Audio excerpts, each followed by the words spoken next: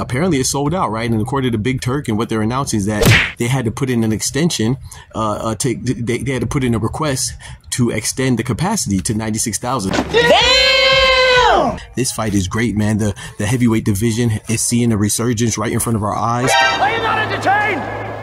Are you not entertained? If I tell you I'm good, probably you will say I'm boasting. If I tell you I'm no good, you know one line. Yo, what's good, YouTube? It's your boy, Dr. PGNG. I'm praise God to get money back for another YouTube video banger, man. Yes, sir. Yes, man. I don't know what time it is. The doctor's in the house, man. Check this out, man. So we got Anthony Joshua versus Dubois, man. I think this fight is going under the radar. It's actually in less than about three weeks, right? Uh, September 21st. So we're at the end of August now. So, um, yeah, man, this fight is sneaking up, sneak, sneaking up on us, right? And right now we're talking about, you know, Canelo Alvarez. Y'all know I rock with Cinnamon, but I'm gonna be honest, man. The, uh, I'm not excited for the Cinnamon, uh, versus, uh, Berlanga fight. You know, I think it's gonna be decent, but I, I it's definitely, um, not that intriguing in my opinion. Um, and then we also have the Beterbiev Bivol fight coming up, but that's in October, right? You know, so all these fights that we have that I'm that I'm looking forward to, you know, it's like we're overlooking Anthony Joshua versus Daniel Dubois, and I think it's crazy because this fight is great, man. The the heavyweight division is seeing a resurgence right in front of our eyes.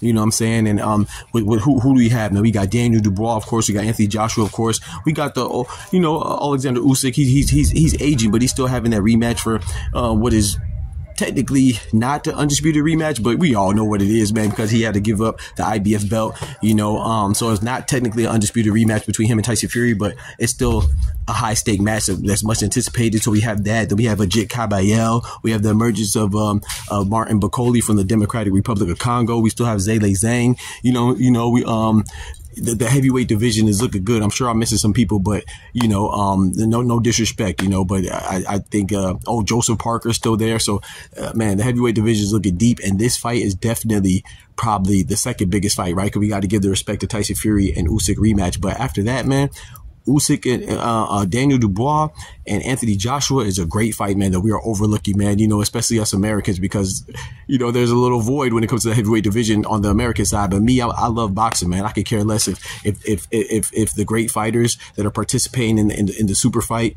come from Jamaica, Nigeria, Australia, England. I could care less, man. As long as it's good fights, I'm here for it from good boxers, man. And I think this is exactly what we're getting. And it's definitely being overlooked and overshadowed, man. But not by everybody, right? It's apparently it's sold out, right? And according to Big Turk and what they're announcing is that they had to put in an extension, uh, uh to, they, they had to put in a request to extend the capacity to 96,000. So this fight is so great and being so appreciated by others, um, that they're anticipating it to set the record, you know, um, for Wembley Stadium. And I think that the, the, the current record holder for a boxing fight is uh, Tyson Fury versus Dillian Whyte. And this, no disrespect to them, and shout out to both of them.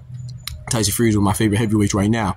But man, Anthony Joshua and Dubois should be a much more uh, uh, competitive fight and a much more highly anticipated fight. You know what I'm saying? Because I think that both Anthony Joshua, we already know he's a bona fide star. Yeah. I think Daniel Dubois has some star power that that that is emerging. You know, so man, this fight is good. I personally have Daniel Dubois winning. What did he say?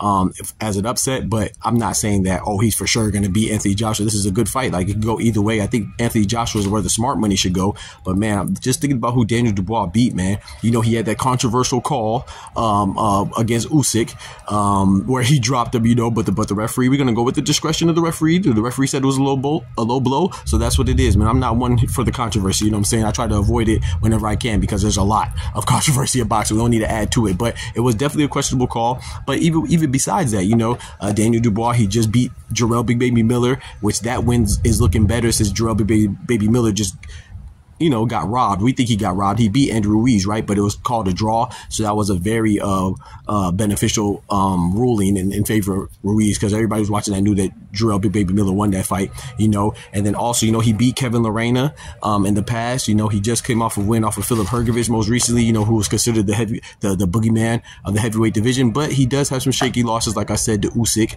Um, but Us- there's no shame in that. Usyk's one, two, or three on the pound for pound list right now. First undisputed heavyweight in, in the quarter century So there's no shame in that. And then um, he also lost to Joe Joyce, but he was a young pup right then, you know. So uh, I think, and, and he suffered, a, I believe, a cut. If my memory serves me correctly, he suffered a cut before he got stopped. So I think Daniel Dubois, man, he, he's an emerging star in heavyweight division, and this could definitely, um, this could definitely propel him either fur, even further to the top of the heavyweight division with the win here against Anthony Joshua. Now Anthony Joshua, we know he um he also lost to Usyk, so they have a commonality there. They both lost to Usyk. Uh, um, Anthony Joshua lost twice, one split decision, one unanimous decision. But like I said, there's no shame in that. Usyk is an undisputed heavyweight champion right now. So and then um.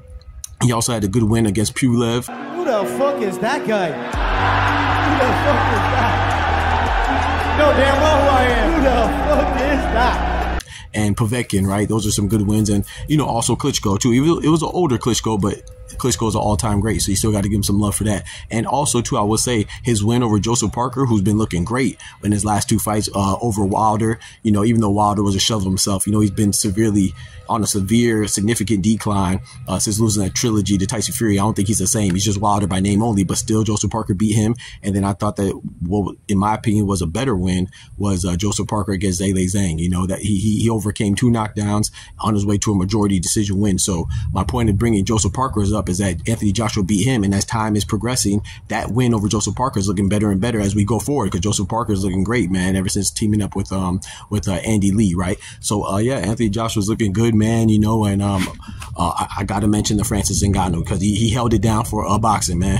Hold it down, Anthony Joshua, one time for the boxing, but that's not really an impressive win. It, it happened in impressive fashion, but it's not an impressive win because Francis Ngannou, as much of a fighting phenom he is, he's he's he's a um he, he's a rookie when it comes to um a novice when it comes to boxing. So um while there was a mosquitoes coming out here, man. I got to get inside. It's about to rain too. I'm in Florida, baby. But uh, yeah, so but still, man, Anthony Joshua's been looking good. I definitely think he's he's probably the third in the division after Tyson Fury and after uh, Usyk. So man, I look forward to this fight, man. I think it's going under the radar. I think we're witnessing the resurgence of a, a heavyweight division.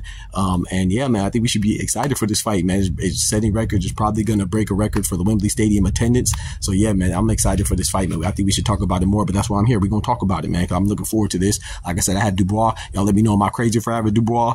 Um, like I said, I don't think it's gonna be easy. Um, and I think the favorite is and should be. Well, we know the favorite is Anthony Joshua. It should be Anthony Joshua, and uh, he deserves it. But man, I, I can see a path of victory for Anthony Joshua, but I can also see a path of victory for Daniel Dubois, man. So I, I'm looking very much forward to this fight. Y'all let me know who y'all got in the comments, and also most importantly, remember with God, we can do anything. Without God, we're nothing. Yeah. Doctors out. Peace. From the hood to college, both worlds they had to meet. Six degrees between us, so cold, we're about to freeze. But we're Florida boys, hot takes, we bring the heat. We're moving the culture, the engineers to the streets.